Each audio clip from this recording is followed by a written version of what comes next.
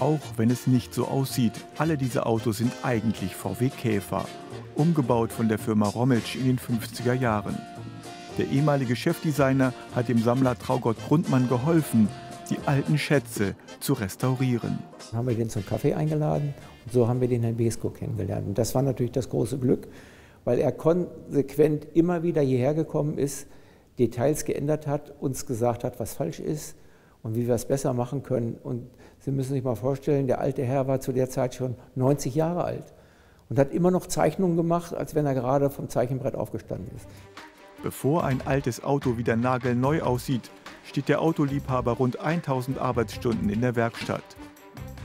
Mit alten Originalmaschinen und dem Wissen um die richtige Technik verwandelt er rostigen Schrott in historische Traumwagen.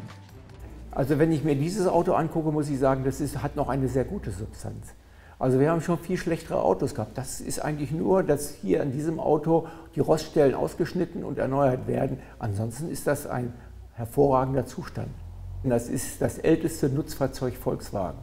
1945 von den Engländern entwickelt und gebaut worden auf einem Kübelwagen Chassis.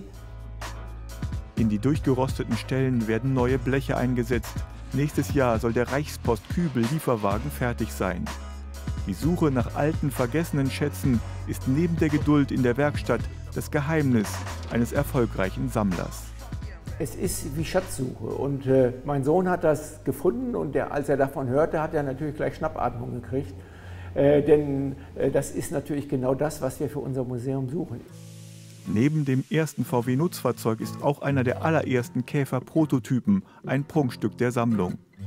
Dass dieser Schrotthaufen in Litauen ein zentrales Fundstück für die Geschichte des KDF-Wagens der Nazizeit ist, konnten nur echte Sammler und Experten erkennen. Das ist wirklich diese Schatzsuche dann halt, so ein bisschen wie Indiana Jones oder sonst etwas. Und für uns als VW-Sammler ist das dann halt, sag mal, der heilige Gral.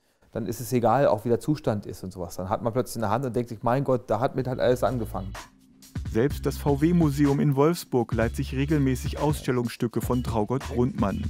Seit 40 Jahren trägt der 70-Jährige seine Schätze zusammen.